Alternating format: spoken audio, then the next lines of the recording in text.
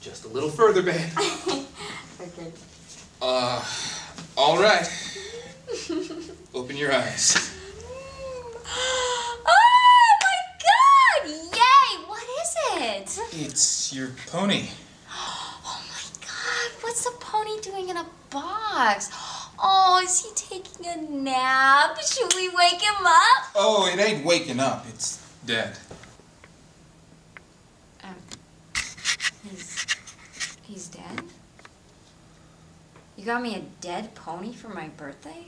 That that was not my intention. What happened? Lisa, What happened to my pony? we've been dating for like six weeks now. I Answer the like question. I shot him You shot him? about an hour ago, but hear me out. You shot my birthday pony? Look, he bit me. Look, pumpkin patch. Don't you dare call me Pumpkin Patch. I thought about it. I was like, I can never show her this. It would destroy her. But then, if I didn't show you anything, you would have thought that I'd forgotten your birthday. Look, I had to do this. You need to understand that I would never hurt an animal. You did it on purpose. What? Yeah. Yeah. You knew that I would love this pony and he would love me. And and he could actually show his feelings. Unlike you.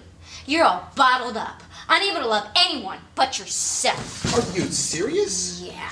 He would he would be so happy. He would swish his tail and toss his head and lick my hand. He'd smell my scent and come galloping towards me and I'd leap onto his back and we'd go riding through the moonlit moor with the wind in my hair. Oh, but no. He's dead. You killed my pony. You killed Black Thunder. Black Thunder? You killed the only thing that I will ever love. You don't love me? How could I love a pony killer? Well, you know what? April Fools. So there. wow. Oh. Oh. I cannot believe. Oh. Well then, what's in what's in here? Guess. Um. Okay. Uh. Candy.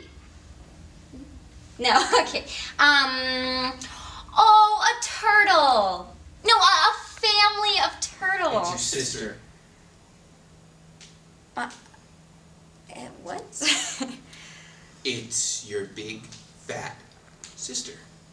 Cat. Kathy?